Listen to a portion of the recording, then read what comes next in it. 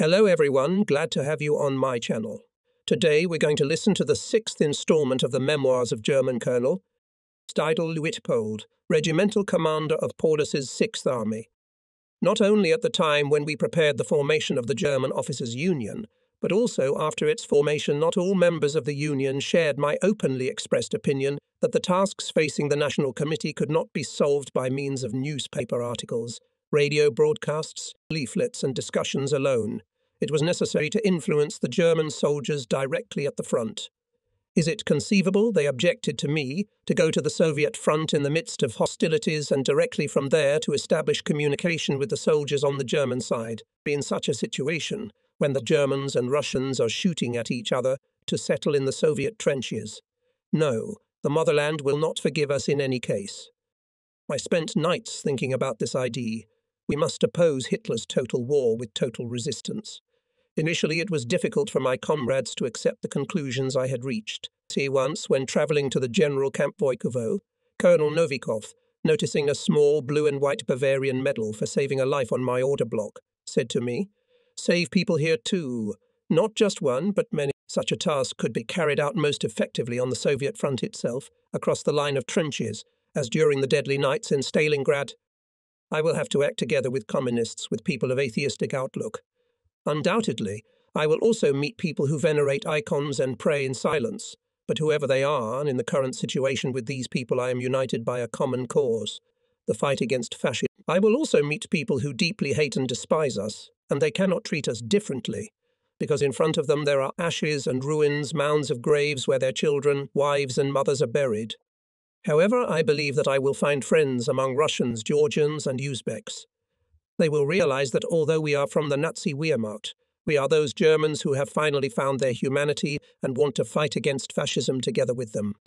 I will see the battlefields, but not as they were depicted by the artists of the First World War in a grim and harsh manner, but still trying to give even a picture of carnage a touch of heroism. I will see the battlefields as they became as a result of the actions of German soldiers.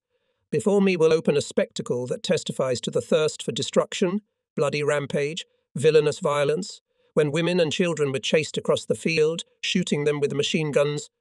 Such were roughly my thoughts, and in such a similar spirit I talked to various comrades in an effort to induce them to participate in an enterprise which some called, to say the least, a dubious and risky venture.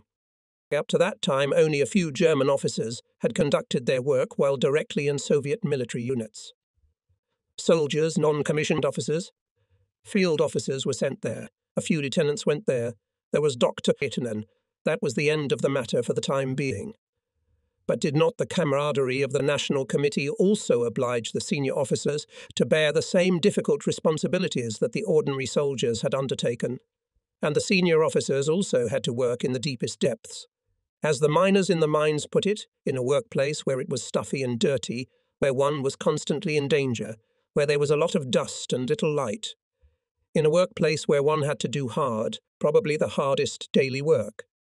Meeting with Erich Weinert, we talked at length and in detail about his activities at Stalingrad. You will see for yourself, he replied. This activity develops differently every time, but there are people everywhere. You will be given all the help you need. When he once asked me where exactly, in my opinion, I could act most successfully, I did not hesitate to offer to send me to the place where now, ten months after the complete defeat of my 767th Grenadier Regiment, were units under the same number.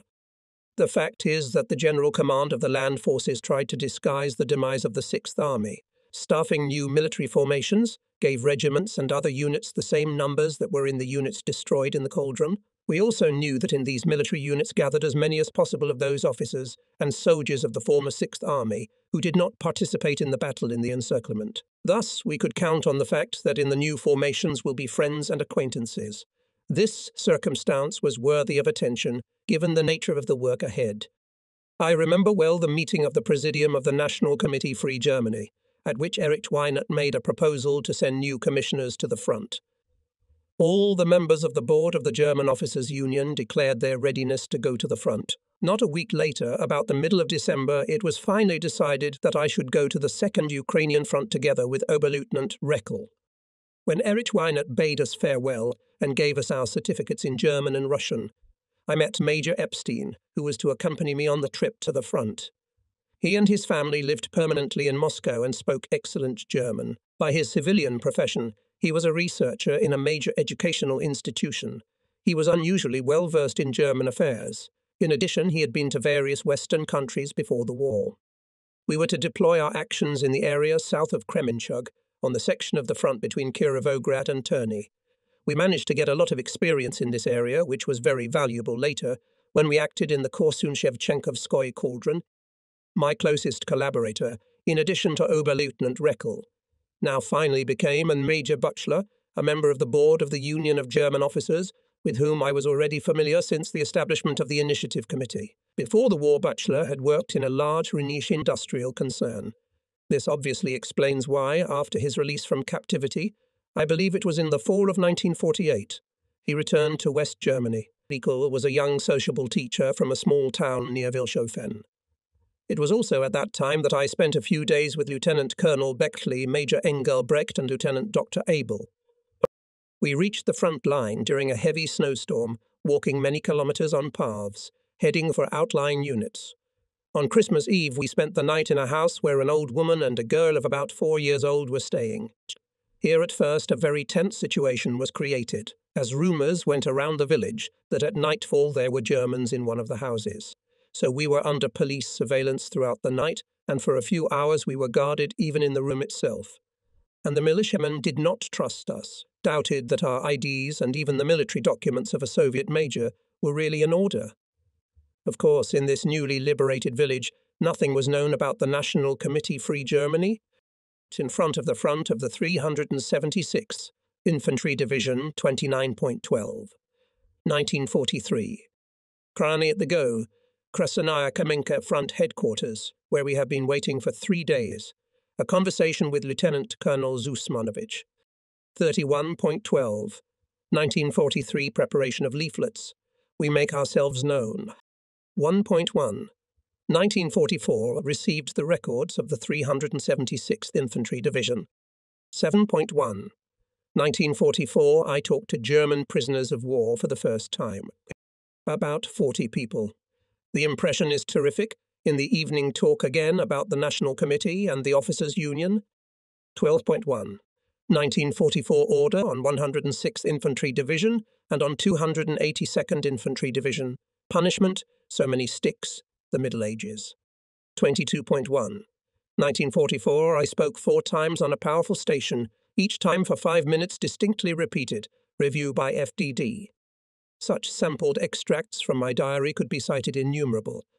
But where to begin, if every day there were new events, and sometimes of decisive importance? At the end of December, we arrived in the area north of Kirovograd and Terny. We crossed the Dnieper by a pontoon bridge. In the middle of the river, the ice had already moved.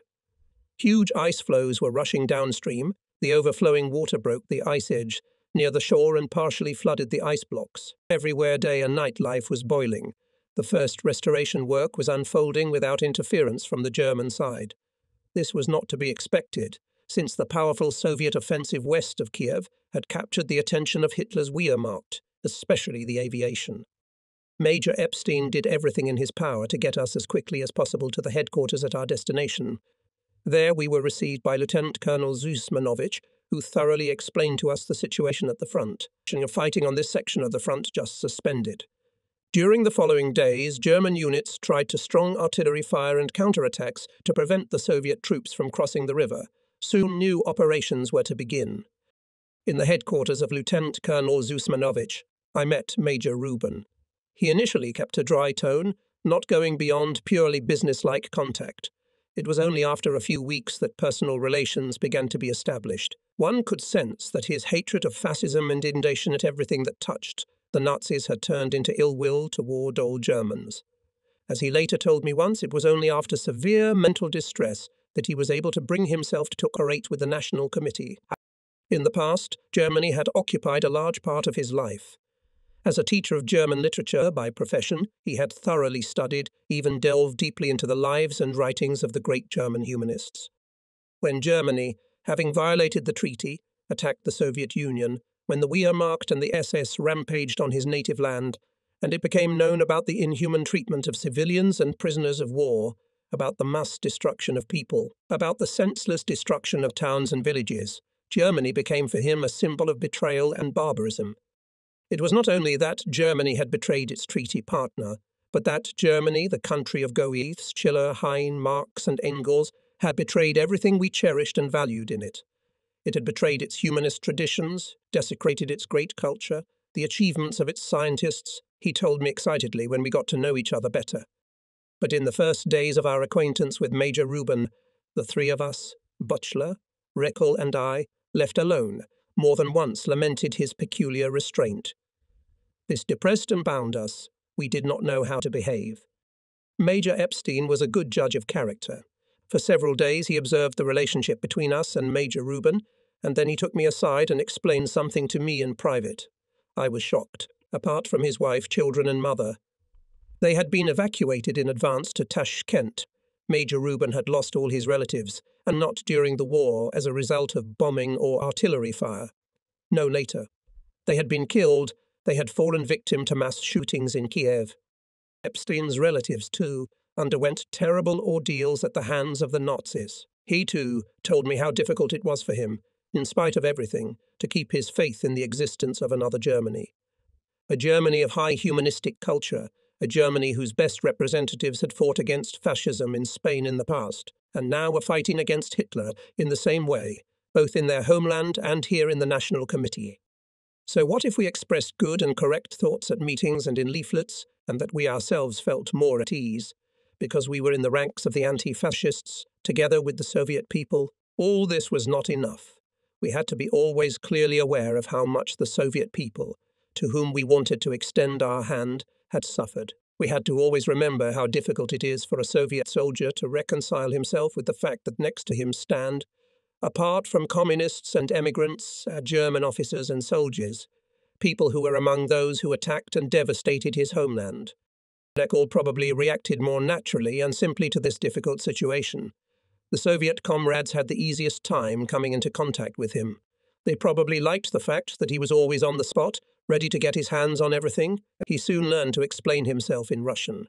If he came across a schoolroom that was in a little bit of good condition, or found a bookcase, he would linger there and try to find out if there were any similarities between the German and Soviet teaching systems. Are the textbooks, from a methodological point of view, built differently from ours?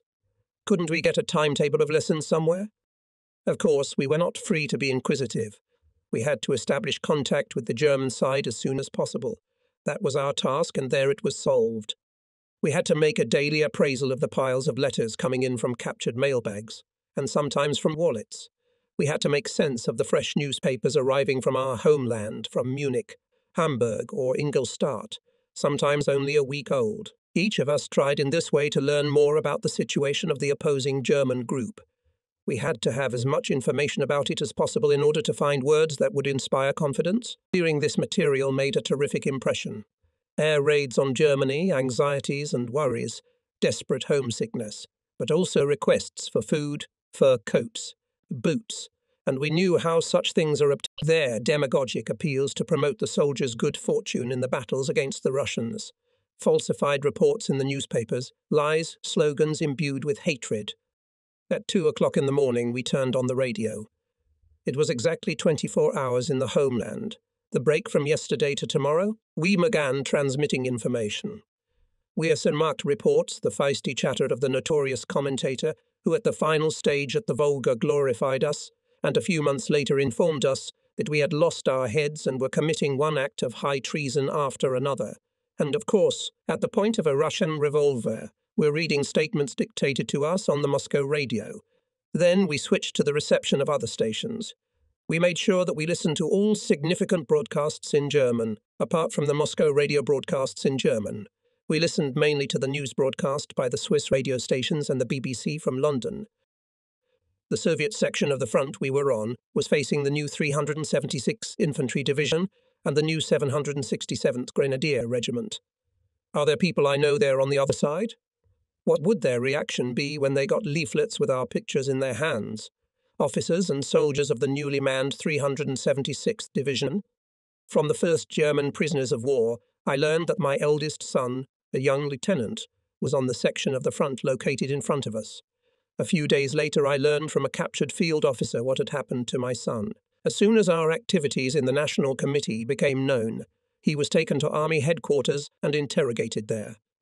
However, all attempts to make him renounce his father failed. The General Command was cautious.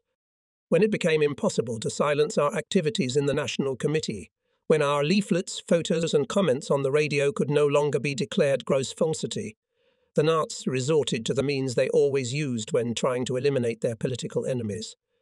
Our families were under house arrest, and we were sentenced to death in absentia in the summer of 1944. The pincers at Korsun closed. After the liberation of Kirovograd, the First and Second Ukrainian fronts began a new operation, as a result of which the Eighth German Army was again in a critical situation. The Soviet formations that had taken the offensive namely the 5th Guards Tank Army under General Rotmistrov and the 6th Tank Army under General Kravchenko, broke through the front in late January, moving from the northeast and northwest, and met near Zvenigorodka deep in the rear of the 8th Army. There was a new cauldron, in which in a relatively small space were squeezed and surrounded by two German Army corps, XXI Corps of the 1st Panzer Army and IXI Corps of the 8th Army. Given the lesson learned on the Volga, the German command tried to immediately take countermeasures. First of all, it was necessary to organize supply by air, just as at Stalingrad. The commander of Army Group South, Field Marshal Manstein, had to allocate powerful forces to break through the cauldron. It was a matter of seven and then nine panzer divisions which were ordered to attack the Soviet formations. German troops were not in due time brought to the starting lines, and the coordination of their actions was unsatisfactory. Again, they began to boast falsely, and with misplaced optimism of the first successes, which were quickly nullified by the actions of the Red Army, the fighting strength and moral superiority of which the German command again underestimated. We expressed our intention to move into the new cauldron at Korsun Shevchenkovsko, and Colonel Zusmanovich at once approved our plan promising to give us all the assistance necessary to enable us to influence the German units. We arrived at our new base of operations on February 2, just on the anniversary of the day when the hellish agony at Stalingrad came to an end. Was it really all going to happen again? Then 200,000 German soldiers and officers had needlessly died. Now the same fate threatened 70 or 80,000 Germans. While still at our former base, I appealed to the encircled troops with the following message the collapse of Hitler's war machine is only a matter of time.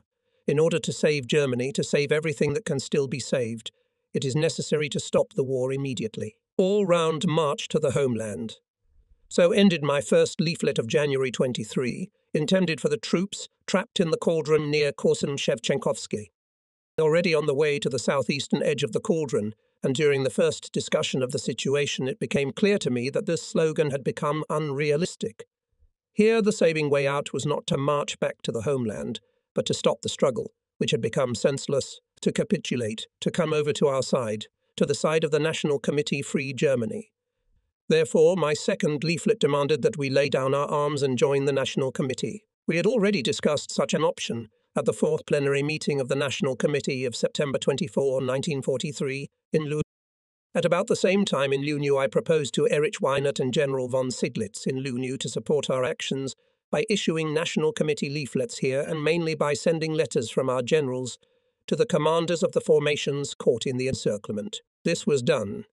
Immediately after our arrival at the new operating base, we received letters from Generals Dr. Korfes and Lattmann addressed to the commanders of the XI and XI Army Corps who knew them. A few days later, I learned that another group of the German Officers' Union was to arrive. It consisted, besides General von Seydlitz, of Major General Dr. Korfes, Major Leverens, Peterman, representatives of the Russian command also arrived. Major General Shikin, Lieutenant General Babich, Major General Petrov, Colonel Braginsky, and Wolf Stern. In addition, Bernt von Kugelgen, Lieutenant Colonel Bickley and Erwin Engelbrecht were also active in the cauldron at Korsun Shevchenkovsky. Although our group could not make personal contact with the other brigades of the National Committee, it was still possible to coordinate our actions well. By radio communication, we exchanged our experiences, coordinated our arguments, and sent to their destinations leaflets and letters addressed to unit commanders by General Seydlitz, Major General Dr. Korfes, and Lieutenant General von Daniels. We left for the boiler area in bitter cold, But on February 2, the weather changed, a warm wind blew. At times we were whipped by rain, at times snow with icy hail. During the day, the vehicles stuck in the mud, at night, froze to the ground. All this made our actions much more difficult. Nevertheless, we managed to scout the situation at the front line on February 3 and talk to the German soldiers who had just surrendered. We needed our impressions and the latest information to make our propaganda campaign leaflets, letters, and radio broadcasts as operative as possible. Here at Korsun, we wanted to use the experience we had already gained at Kirovograd. We strove in our leaflets and radio broadcasts to reproduce as accurately as possible the situation in each military unit, and, if possible, to address the commanders and soldiers directly. As the German soldiers later confirmed in their testimony, we did the right thing by immediately radioing the names of people who had just been captured. This was a particularly successful and thought provoking technique. Soon we had to stop transmitting through horns, trench loudspeakers, and radios because the weather interfered. The greater importance was given to conversations with German defectors and prisoners who, at a time when the encirclement front had not yet stabilized, were looking for ways to escape. In any case, it was clear from the very beginning. The insolent soldiers who urged to hold out to the end and tried to maintain morale by means of cruel orders were opposed by other soldiers and officers who followed the development of events with deep disappointment and distress. Apparently, the memories of Stalingrad revived not only in our memory, but also in the memory of those who were now also caught in the encirclement. In my letter to Lieutenant General Cruz, commander of the 389th Infantry Division, I implored him to remember the senseless death of the Germans on the Volga, appealed to his mind, to his sense of responsibility, and urged him to save his division from senseless destruction. This letter was handed to General Cruz by a POW PFSE. Jacob, who also distributed it as a leaflet to the soldiers of the 389th Infantry Division. Jacob performed his task brilliantly. At the station to which he returned, a special password, Password Jacob, even emerged, which served as a pass to switch to the side of the National Committee. In an effort to open up new perspectives also for those soldiers and officers who had been members of the OSS, but who were not inwardly connected with the executioner regime, we addressed them with a special leaflet, and not without success. I reported the first encouraging results of our work to the National Committee in Lunew on February 9, a decisive role in all this was played by our German and Soviet comrades, who printed our leaflets in headquarters just behind the front line and handed them to us a few hours later. Only those who had seen such a printing press could appreciate such an achievement on its own merits. Directly behind the front line, it meant that the work was carried out under the most primitive conditions. We had to change location frequently and quickly, and this meant not least that the work was carried out under enemy fire after the Red Army's offer of surrender, transmitted on February 8, remained unanswered, we intensified our efforts to obtain soldiers who were making the return crossing. These were prisoners of war who were willing to cross the front line and report the contents of the special conditions of surrender, namely, a guarantee of life and personal safety, medical care for the wounded and sick, as well as return home at the end of the war, satisfactory food, lodging, and clothing, and, to the extent possible, improvements in the conditions of existence, the senseless deaths of tens of thousands. Meanwhile, the attempts of Hitler's command to unblock the encircled group failed. Only near Lysyanka, the shock group managed to wedge into the cauldron for 10 12 kilometres. But then the wedge was cut off, and the German units had to regroup near Shenderovka. Then bled the 1st Panzer Division in the struggle for height 239. This height dominated the passage into the cauldron and deblocking group of troops it failed to capture. Nevertheless, the generals responsible for the operation, especially SS General Hill and Lieutenant General Lieb, decided to strengthen the resistance and prepare to break through the ring on the night of February 1617. They were blocked by Soviet powerful tank and artillery formations. Thus, the German generals repeated a mad enterprise reminiscent of the breakout options discussed in the final days of the Stalingrad Cauldron. Such a horrifying catastrophe unfolded, which had an overwhelming effect even on us who had lived through the terrible collapse of the Sixth Army. Undoubtedly, whoever managed to escape from the cauldron was guided by only one rule save whoever you can, no matter what way. The few motorized units moved westward over the bodies of dying soldiers under the annihilating barrage of Soviet artillery to meet the equally annihilating fire of the barrier located at height 239 and along the village of Hainoi Tikich. Panic reigned in the German grouping.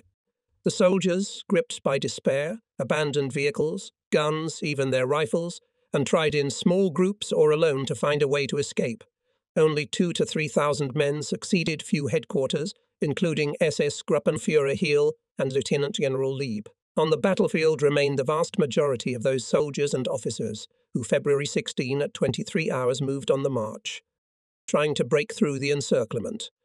Kept alive only those 18,000 soldiers and officers who before February 16 refused to fight. Many of them, some of them even from the first days of fighting in the cauldron, kept our leaflets with them, hiding them either in their windings or under the collar of their cloak or in their pant leg. Most often we found them carrying the leaflet Your Salvation, which was dropped on my instructions on February 7. It was a small format, and it was easy to hide. We talked with the German soldiers and for the first time organised large rallies. At Smeller we gathered about 1,200 prisoners of war. From the conversations we found that more soldiers and officers knew about the National Committee than we had realised. 59% of the POWs I interviewed confirmed that they were aware of the existence of the National Committee even before their captivity. However, they were not aware of the goals and objectives of the National Committee. Therefore, after the battles of Korsun Shevchenkovsky, we, in addition to local leaflets concerning the situation on a certain section of the Soviet German front, began to drop leaflets with the manifesto and later with the text of the 25 conditions for the end of the war. At the very time when we stood before the endless stacks of corpses on this battlefield, when the helpless wounded left on the field, if not picked up by Soviet orderlies, were dying, abandoned by their comrades, Generals Hill and Lieb were lying, passing off the deaths of their divisions as a breakthrough victory. They were awarded the highest Nazi orders. However, General Stemmermann fell in battle with the enemy was not posthumously awarded, and the circumstances of his death have not yet been clarified definitively. Some of his radiograms allow us to conclude that he skeptically assessed the activities of the High Command, so in a radiogram sent in the evening of February 16 said, Stemmermann's group can break through the enemy's front on its own section but will not be able to force a second breakthrough through the enemy positions in the location of the II Tank Corps. In other words, Stemmermann sought clarity, asking what awaited him at Lysianka. New battles with superior Soviet forces or a meeting with deblocking German units. He was never given a definite answer. He received a categorical order from Manstein. Password freedom, target Lysianka, 23 hours.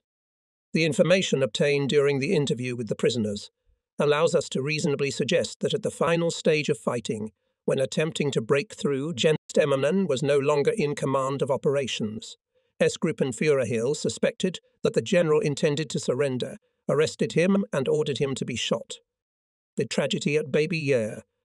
In mid March, the first period of my activity at the front ended, and I returned to Moscow via Kiev.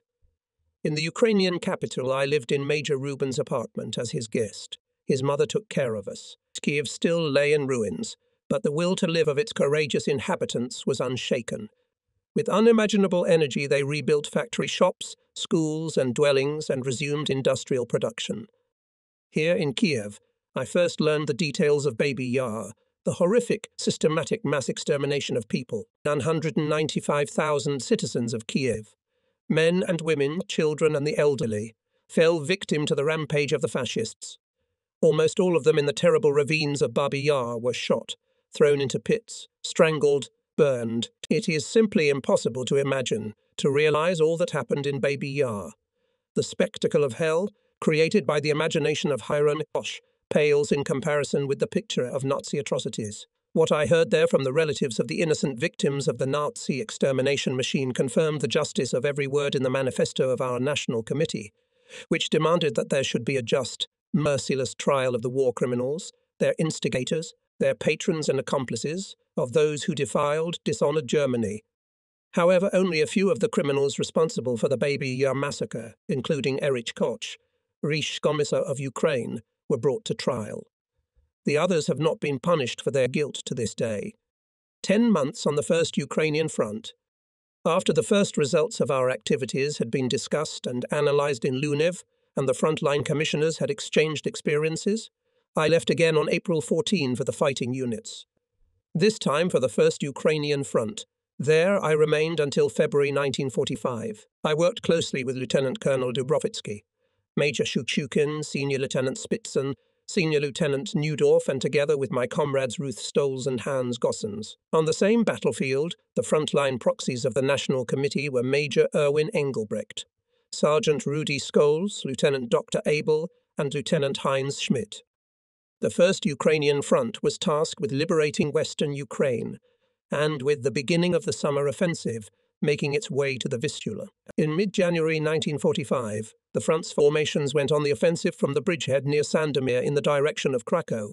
Ten days later, reached the Oder, surrounded Breslau, crossed the barrier strip along the Oder, Bever, and Nyas, and advanced to the Elbe. The 4th Tank Army of the 1st Ukrainian Front formed a shock wedge, and it was its units reached Torgau, where a significant meeting with the American Army took place. We were on our way to the headquarters in Zbaraj. On the way on the escape routes of the Nazi armies before us opened an impressive sight, clearly testifying to the scope of the just completed operation, which was defeated the eastern flank of army groups and reached the border of Romania along the Prut River. German losses in equipment were so great that the Soviet units simply registered the destroyed and captured tanks, marking the next number on the turret with oil paint. Just now, it was number 426. An hour later, it was 980, and just before Zbaraj, 1120. However, the assumptions that the outcome of these battles would lead to the final catastrophe of the Nazi Wehrmacht were not justified. From the testimony of the wounded and prisoners, as well as from other sources of information available to us. We learned that the fascist military command took desperate measures to suspend the Red Army offensive in the area of Torchin, Bialystetko, Chertkov, Kutty. These attempts were combined with scorched earth tactics. Whole herds of cattle were senselessly shot, sheep were machine gunned, sugar factories, silos, and whole villages were set on fire. Everything in the way was indiscriminately shot, blown up, destroyed. The dwellings where old people and women with children had taken shelter were not spared either. In Zbaraj remained in relative order only because it was possible to occupy this point quickly, and the retreating units did not have time to blow it up. The inhabitants finally breathed a sigh of relief, came out to meet the liberators, and hugged them joyfully. They greeted us too, as we were in ordinary Soviet uniforms without insignia. It is understandable that the inhabitants were astonished when we were unable to answer them in their own language. It is also understandable the distrust with which people treated us, until one of our Soviet friends explained to them what our mission was. These people, who had suffered so much, were naturally extremely wary of meeting a man who spoke only the language of the villains who had desecrated the sacred Soviet land. Once near Zbaraj, we, wishing to orient ourselves on the terrain, walked quickly through the village, heading for the cars that were waiting for us a few kilometres away. At the exit of the village, the villagers met us with the greatest indignation and curses. They saw in us the very Nazi soldiers who, only a few days before their mother's eyes, had drowned 16 children between the ages of 2 and 12 in a well. For such a crime, there was to be immediate retribution. Our friend, Major Epstein, and the escort from headquarters had to make great efforts to explain to the justly indignant people that there were Germans who had long ago dissociated themselves from Nazi crimes and were fighting shoulder to shoulder with them, with Soviet soldiers and Soviet citizens, against the Nazi barbarians. Rallies. When we were first invited to a rally in 1943, we were puzzled at first. The word rally was unfamiliar to us. It was associated in our minds with something typical of England, of English conditions. Later, we got used to this terminology and began to convene meetings ourselves as frontline plenipotentiaries. This form of meeting proved useful and took root in our practice. The meeting of prisoners of war, convened as soon as possible after they were captured, had its positive aspects. People seized with apathy, despair, consciousness of hopelessness.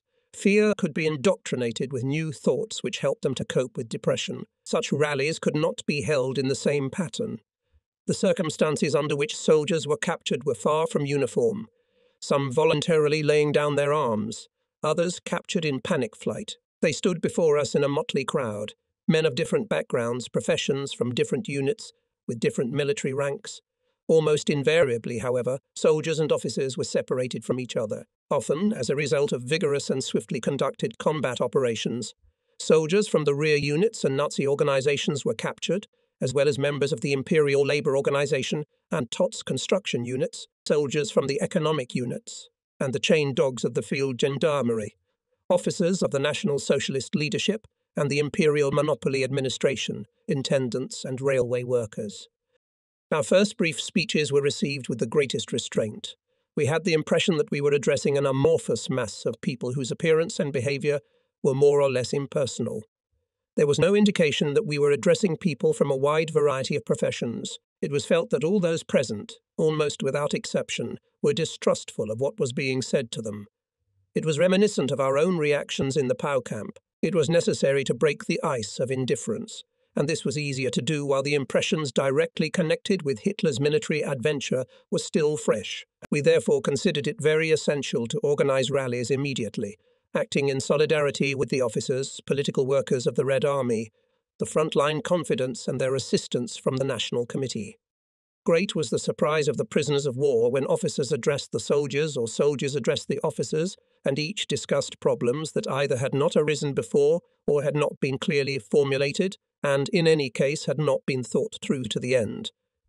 To the last conclusions. Of course, the prisoners had already exchanged opinions, had already expressed to each other views which were in sharp contradiction to those judgments which it was customary to express openly. However, they believed that it was necessary to be cautious and only in the narrowest circle to express their critical thoughts and doubts, their negative attitude to fascism, and their refusal to support Hitlerism.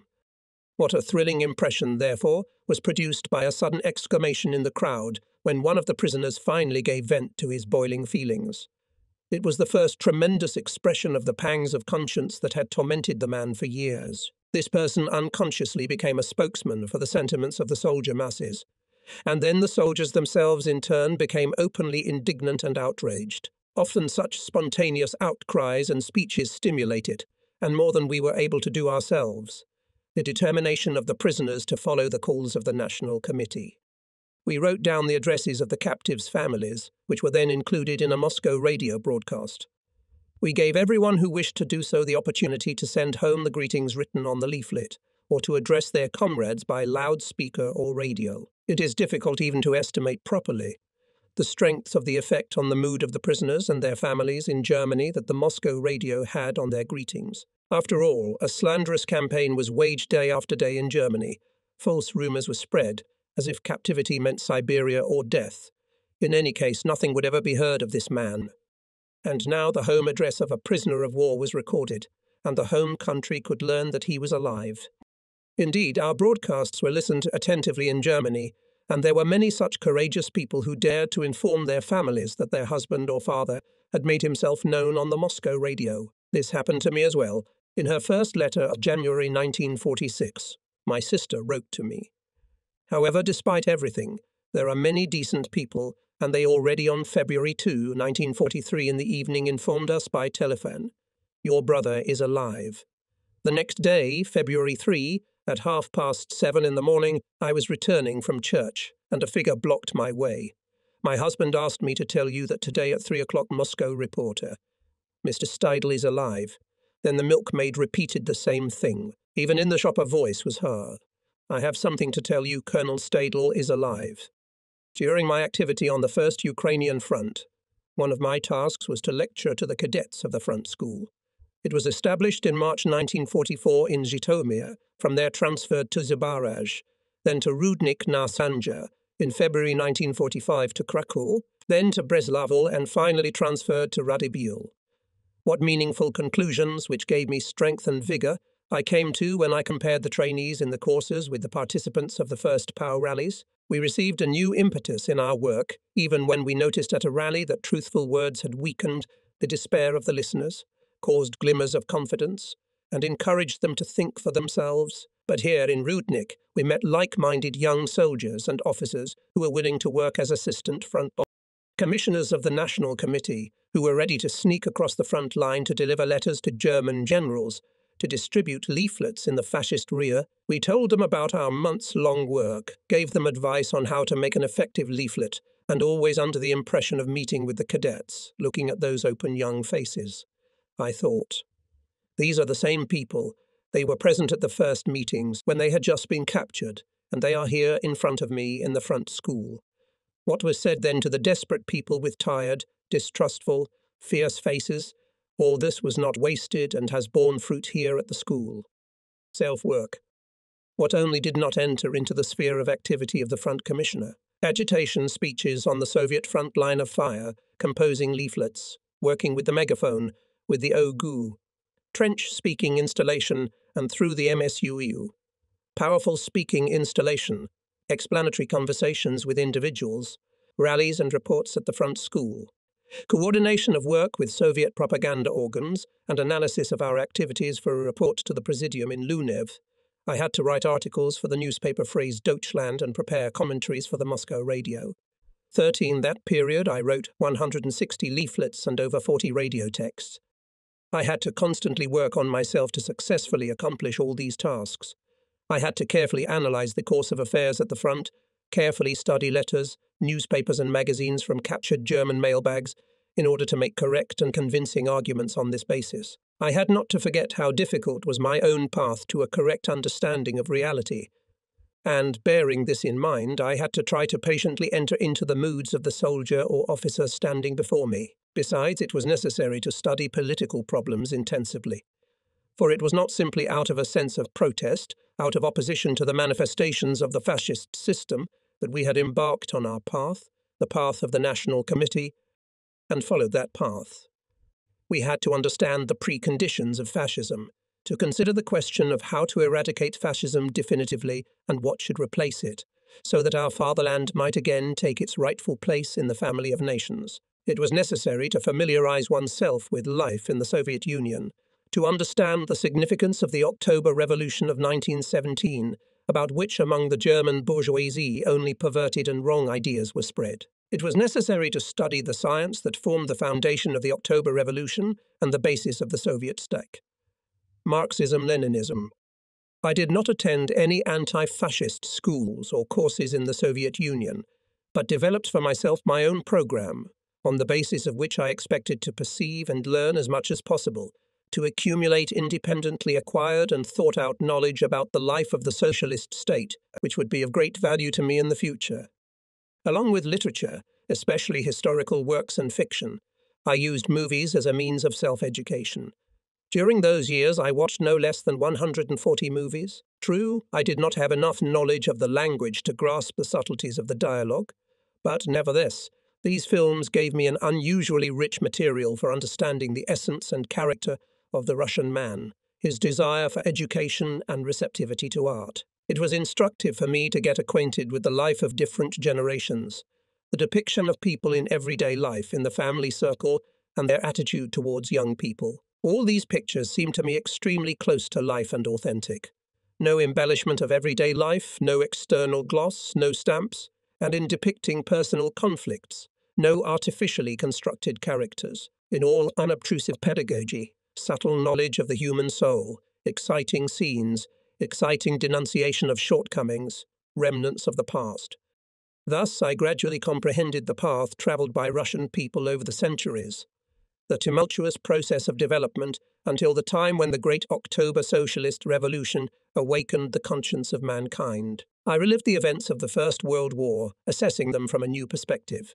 I comprehended their significance and compared my new understanding with my own experience. The inner connection of historical events was revealed to me. I learned to critically evaluate the history of my people. I was struck by the attitude of Soviet people to culture. Somewhere in Sana'a, we were invited to a concert of a Soviet ensemble. We sat in the open air at the edge of a forest or on a hillside so that we could look out over the surrounding countryside. From the very beginning and during the performance, the crowd was swarming. There were officers and soldiers, medical personnel, all mixed up, some obviously from the field kitchen and some after repairing the gun carriage. At first, we were confused by the fact that the ensemble was small. Only three people, but these three people, three amateurs, showed as performers truly artistic skill. However, it was not only the performers who amazed me, but for two or three hours they were present at the concert of this small troupe. In the Wehrmacht, they would have considered the organisation of such a performance an inappropriate pretension. And when else has it ever happened that the audience listened to the reading of passages from classical works for almost an hour, and with such attention, fascination, and deep understanding? Truly, you could say, Give these artists a square meter of space, and no one from the audience will say that he was disappointed with the performance. Educators in military uniforms. It may seem strange that in naming the sources from which I learned the character of the Soviet people and their world, I did not speak first of all of meetings with the people themselves, but spoke of literature and cinema, hence of forms of reflection of reality, not of its direct perception. Of course, also at the front, quite as much as in Suzdal or Krasnogorsk, Conversations with Soviet people were of decisive importance. At first, however, my poor knowledge of the Russian language deprived me of the possibility of carrying on a conversation that was not only about the factual side of things. In addition, everyday life during the war is different from peacetime, and life during the revolutionary years is different from the times of uninterrupted economic construction. Thanks to the movies, I got a glimpse of ordinary everyday life under a variety of conditions. At the same time, I became acquainted with the 30 year history of the world's first socialist state. And finally, because movies and literature depict reality perceived emotionally. And this meant that thanks to the peculiar manner of the greatest masters of Soviet cinema, the viewer was strongly and excitingly influenced. We had many meetings with Soviet people, with officers and soldiers, with our landlords. More often than not, they were collective farmers, or even a track guard on the railroad. Women took care of us as touchingly as Soviet soldiers. However, it was only natural that we had the best contact with the liaison officers in the Soviet headquarters. It goes without saying that in our conversations the attention was concentrated, first of all on our general tasks, on agitation work at the front. But since all work addressed to the people has a diverse character, we could not limit ourselves to analysing events at the front, to evaluating the testimony of prisoners of war, but had to discuss many other things as well the life of Soviet society, the path Germany had taken, and the path it should take in the future, the psychology of the Germans. Of course, one did not exclude the other. We needed military and political information, for otherwise we would have reduced our agitation to general phrases, and then the work would have been wasted. The more accurately we were informed of the situation in the opposing German units, the more purposefully we covered the situation in the leaflet, the stronger and more lasting was its effect. The best example is our talking maps, a simple chart on which was drawn the front line as it became as a result of the last Soviet offensive. I myself held the first such map in my hands in the cauldron at Stalingrad. Sometimes, when exchanging information, we delved into highly specialized professional topics. I well remember a meeting with a very high ranking Soviet officer, a meeting arranged by Colonel Dubrovitsky. The conversation was about the final stage of the struggle and the high ranking officer offered me to draw schematically, as I imagine it, the development of Allied operations up to their meeting on German territory. I took out of the captured German geographical atlas map, drew in the form of a rough scheme strategically most favourable for each side of the paths of advance of troops, and concluded that the first meeting should occur on the Elbe, namely in the area of the Rees. I had indeed correctly calculated. The meeting on the Elbe took place at Torgau, in these professional conversations, one thing invariably caught my eye the careful analysis of even the most minute details of the operation.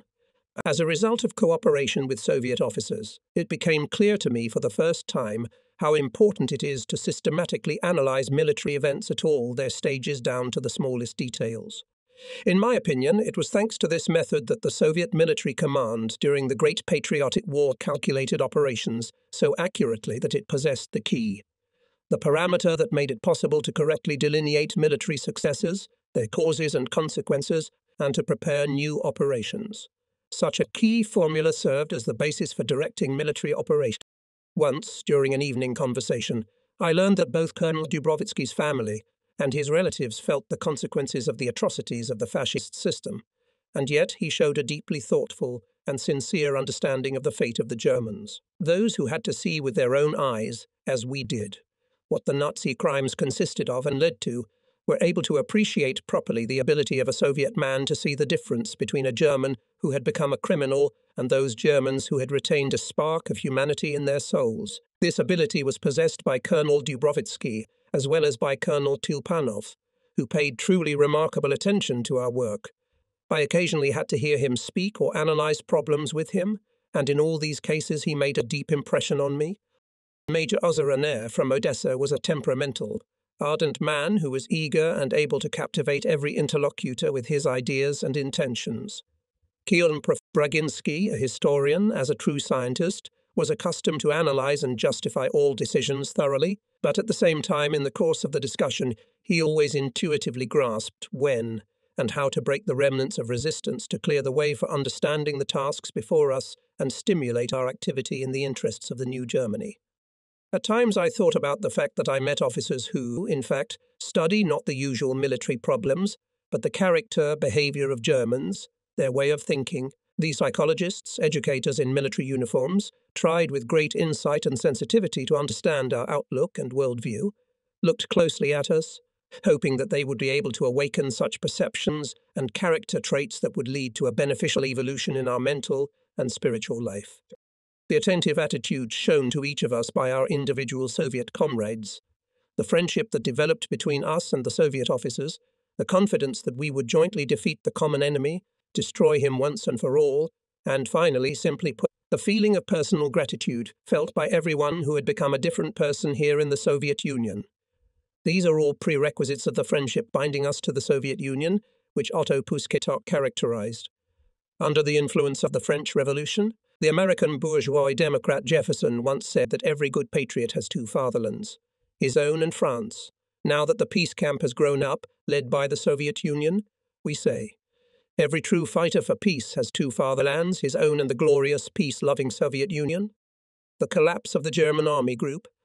Three weeks after the opening of the Second Front in the West, on June 23, 1944, the three Belarusian fronts, one after another, began, together with the First Baltic Front, a general offensive against Army Group Center. Initially, the fortified strongholds, Bobruisk, Mogilev, Orsha, Vitebsk, were bypassed the retention of which Hitler strongly demanded in the order No.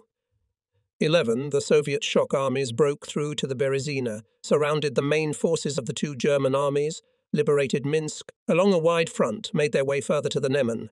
Five weeks later, approached the Vistula and were on the outskirts of East Prussia. Army Group Center ceased to exist. 200,000 soldiers of this group fell in battle. 85,000 were taken prisoner, among them 21 generals. By Stalingrad was a turning point in this war, which decided the fate of Hitler. The current disaster that befell Army Group Center means that the gate opened, opening access to our homeland. The outcome of this merciless battle of enormous scale was marked by some new features.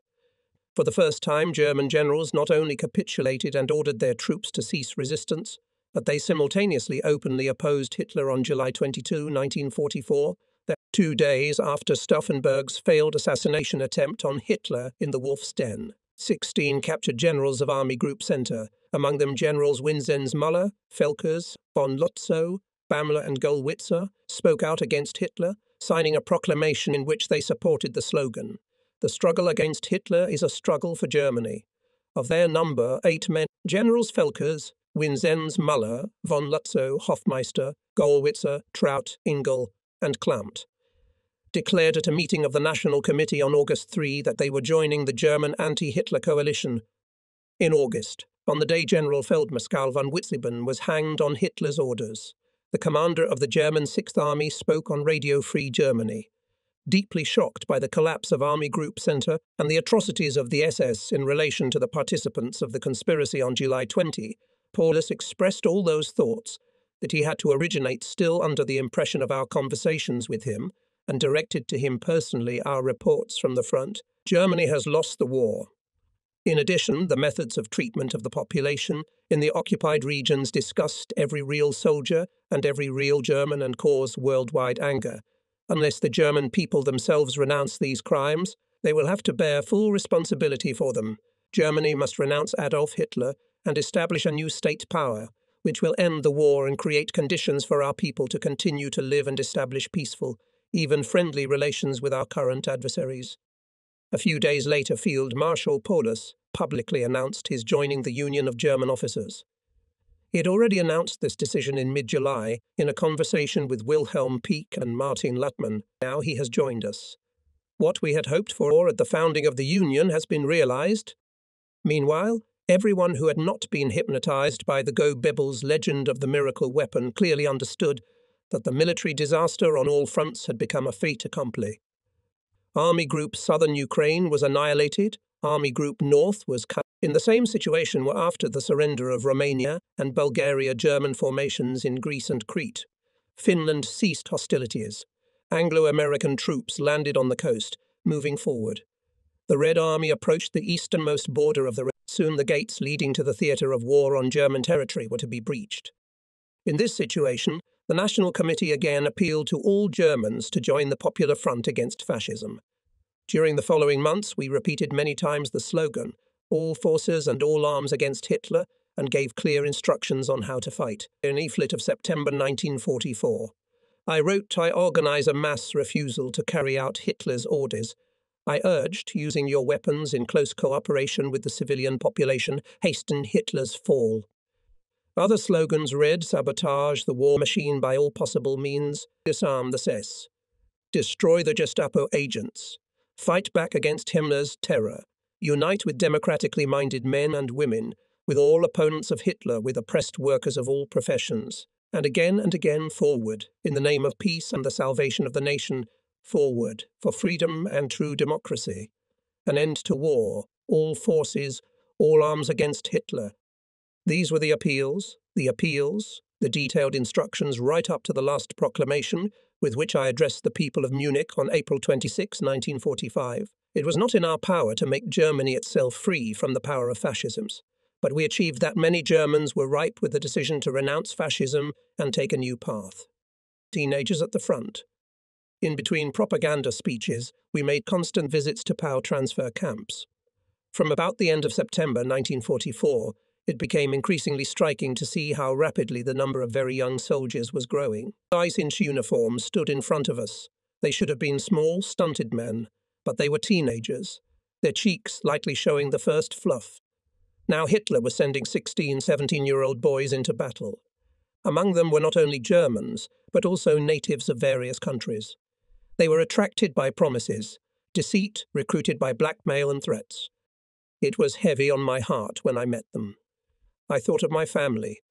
My older sons were also very young and were somewhere at the front. Like these boys, they might have been fighting in the midst of an encirclement. They would probably have goggled if they had suddenly seen their father here in uniform with all the insignia.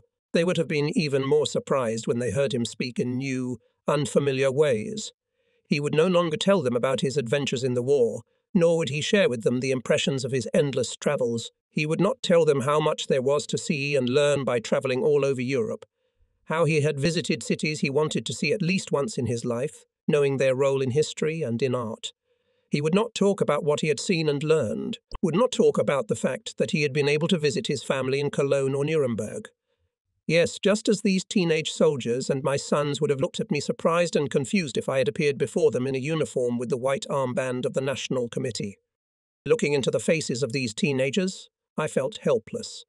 For the first time, I did not know how to make conversation. We sat like that on stacked telegraph poles, in the shade of fruit trees, behind a wooden shed that had accidentally survived the collective farm. A group of about sixty people were placed in the barn.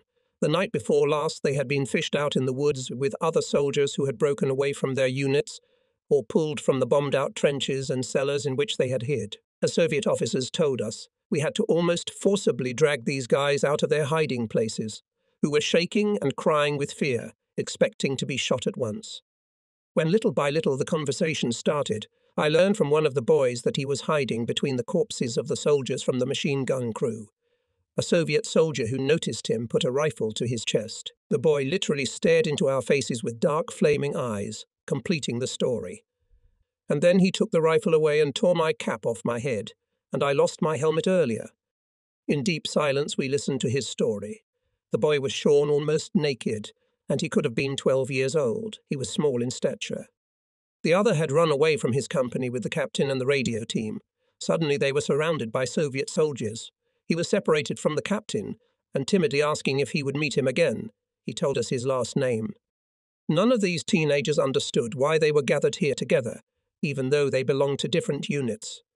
It did not occur to them that this was taken care of by those Soviet officers who, because of the war, had to stop their professional teaching activities. These young men were also incapable of realizing that the Soviet soldiers, officers, and privates were shocked that they had to deal with such boys.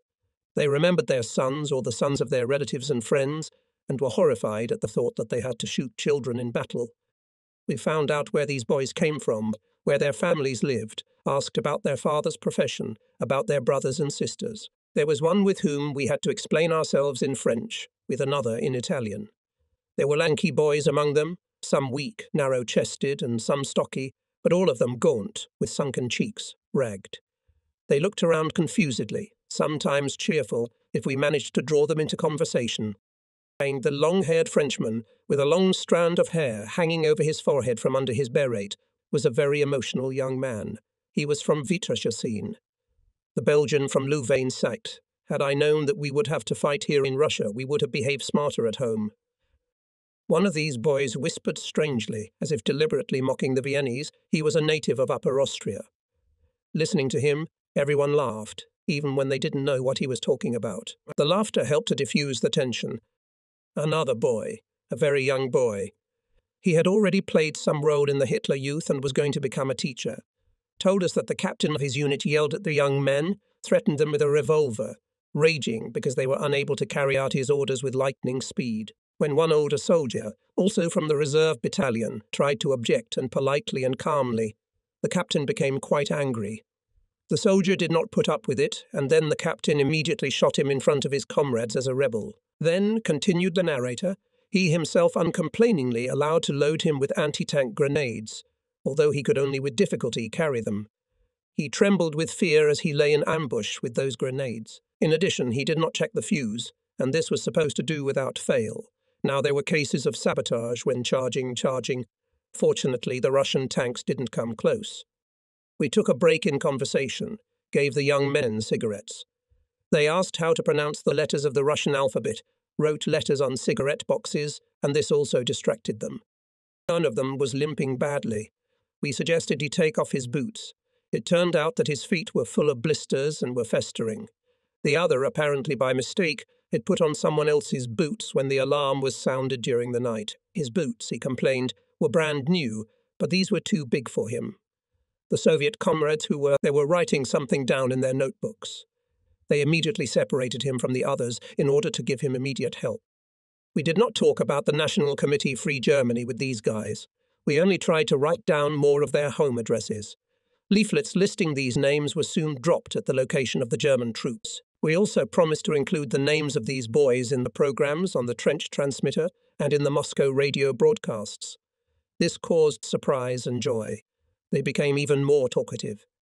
They asked if they could send letters home, if they would stay together in the same group, and then, somewhat timidly but with obvious curiosity, if we were always on the front line and what we were doing here.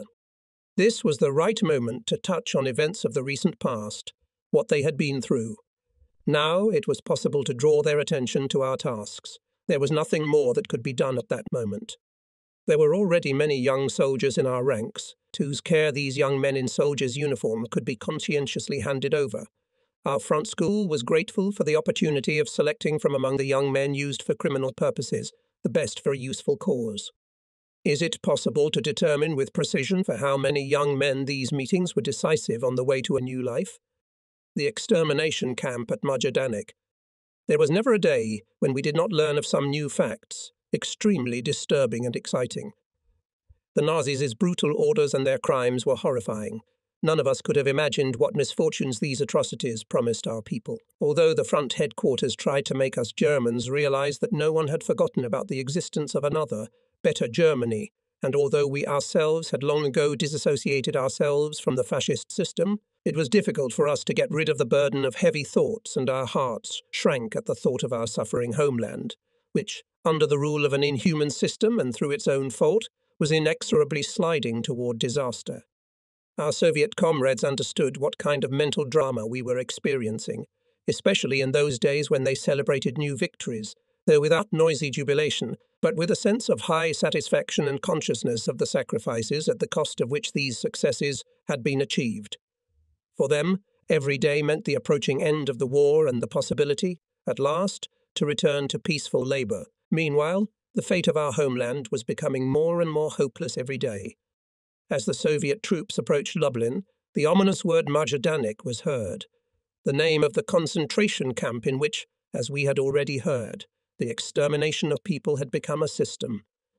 We went there to witness what this place of mass murder was like. During the hours we spent there, we grew grey hair.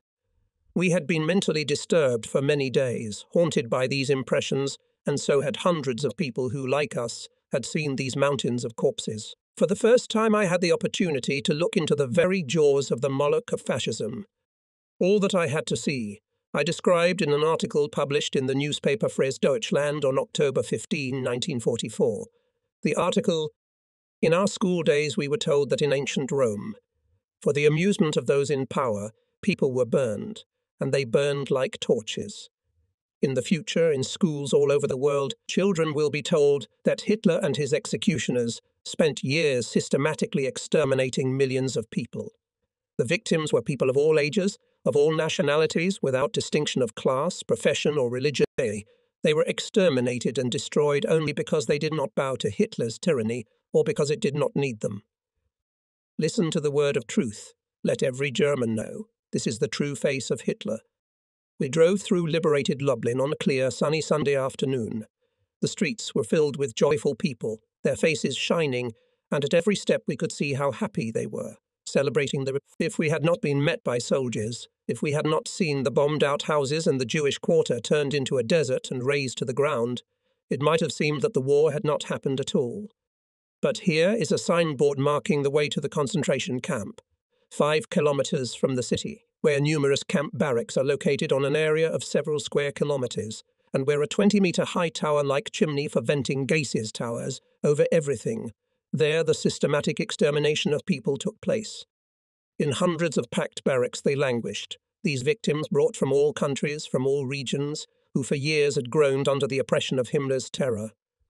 This camp was the last step on the thorny path of millions of victims from the European space. No matter how long a labelled person had been here, no matter whether he had been brought from Dachau or from the concentration camp Papenburg on the banks of the Ems or from Warsaw, he was doomed to death.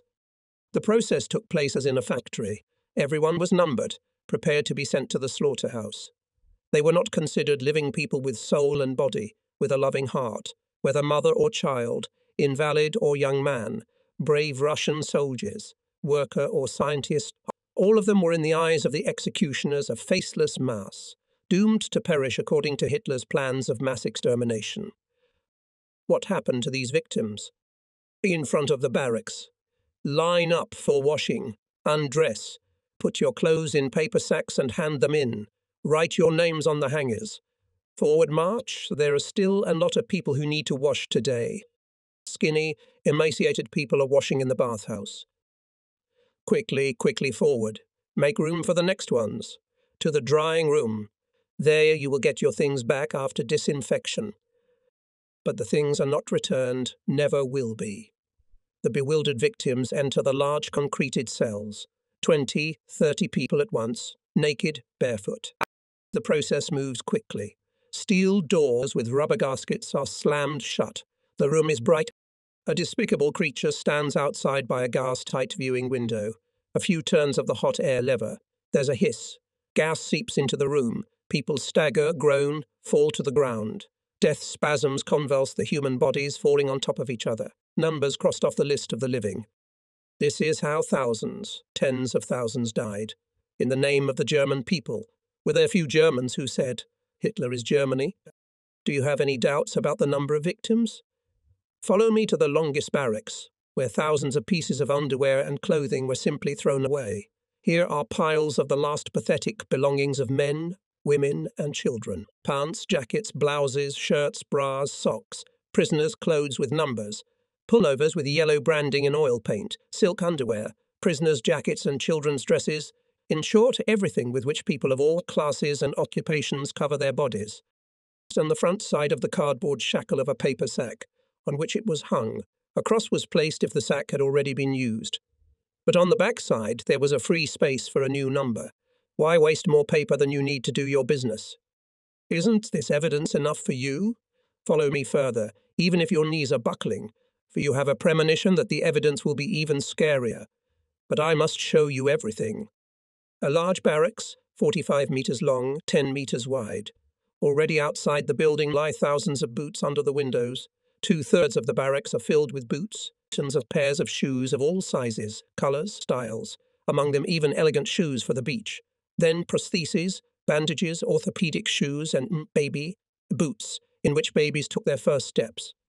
This terrible warehouse is a more amazing testimony than a file cabinet with the names of those killed and gassed in the asylum. There are as many shoes here as would suffice for the inhabitants of a large city. I ask myself again and again, is this all real? I hear the same questions all around me, but the facts are irrefutable. I hold in one hand a baby shoe suitable for a two year old girl, and in the other hand a Russian soldier's boot, and here's a nail studded mountain boot from my Bavarian homeland, so no one was. But where were the corpses of the victims left? In an open field near the camp, they were buried en masse, huddled together, in deep pits. However, this method of burial did not meet the requirements of the case. After all, it was necessary to prepare for mass production all year round. Therefore, a crematorium with a large capacity was built on the highest place.